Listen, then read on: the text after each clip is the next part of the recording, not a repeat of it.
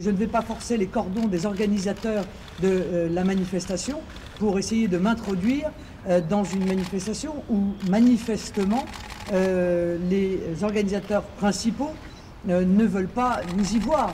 Je ne vais pas là où l'on ne veut pas de moi. Mais je pense encore une fois pas seulement à moi, je pense aux millions de Français qui ont voté pour le Front National et qui prennent conscience aujourd'hui que l'unité nationale, qui était pourtant si utile, a été brisée par le sectarisme de certains, au premier rang desquels le Parti socialiste et euh, l'UDI, entre autres. Je vous remercie.